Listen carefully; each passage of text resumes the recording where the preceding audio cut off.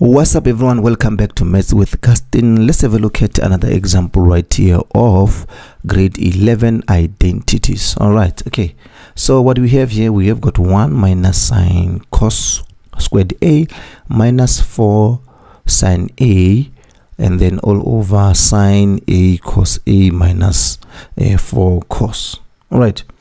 So if you a look at this one guys, um, uh, if you have a look at this one we can start here and tell the person who's going to mark that we are starting from the left hand side. Why? Because the left hand side has got more information for us to be able to deal with this question. So now if we have a look at this part just only this part the one i'm putting on brackets there if you look at this part we would know from the identity that this is is the equal to sine squared a as well. All right. So now we're gonna come here straight away and substitute that. Okay. So we know that this is going to be sine squared a minus 4 sine a all over. At the bottom here it will still be the same. There's nothing we can change here. From our identities we don't see anything that looks familiar there. All right so we'll write it down the way it is here cos a.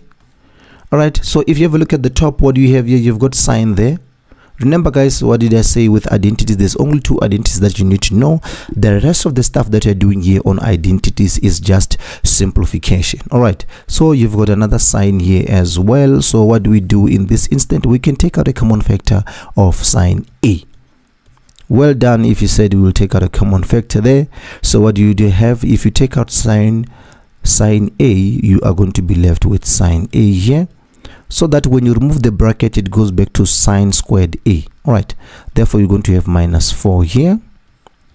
All right at the bottom what do you have? You have got cos here and you also have got cos there. So therefore you can take out a common factor of cos a. Cos a would be a common factor here. The bottom what you're going to be left with you're going to be left with sine a here. You took out cos you are left with sine okay guys that's how i'm taking a common factor out. You took out cos you are left with sine here it is sine here negative you took out this cos you're going to be left with 4 alone. There it is you are left with 4 alone. All right okay so what do you have here? You would realize now that you've got sine a minus 4 at the top and then you've got sine a minus 4 at the bottom. Therefore this would cancel out and therefore you are left with sine a all over cos a which which in terms of identity is going to be equals to tan a. Right therefore which is equal to the right hand side.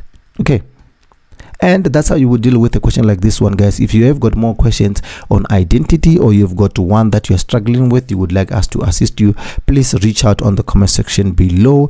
Give this video a use thumbs up. Share it with your family your friends uh, your cousin your classmates and everyone who really needs it. And i am Gustin Mapala.